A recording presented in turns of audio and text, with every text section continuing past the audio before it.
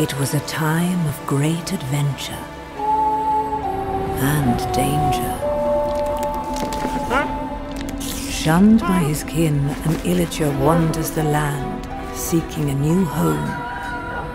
But all he found was hatred. Driven by rage against those who wronged him, he wandered blind to whatever end.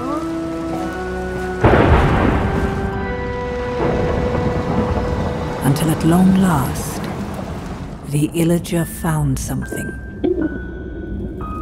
that would change him forever. The Orb of Dominance.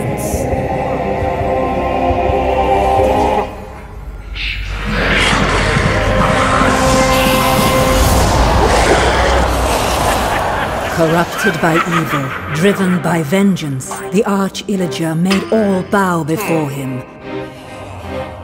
And if they did not bow, they would fall.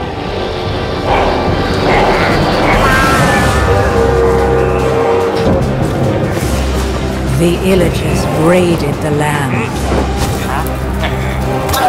Who would have the valor, the purity of heart, to stand against the Arch Illager's reign of terror?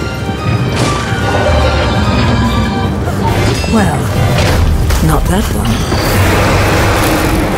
But maybe